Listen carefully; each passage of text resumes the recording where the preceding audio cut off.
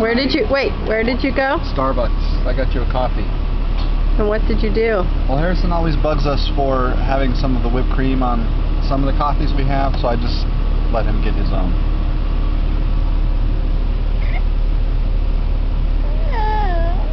Is that good stuff, buddy? What did Daddy do, Harrison? I made his day, is what I did. It is everywhere Is on it? his seat. Oh. he did a good job using the straw, though. oh, that's funny. That makes me happy. It's the joys in life, Bay. The joys in life. All right, Harrison, you ready? Say bye-bye. Who's going to pick him up? That's the question.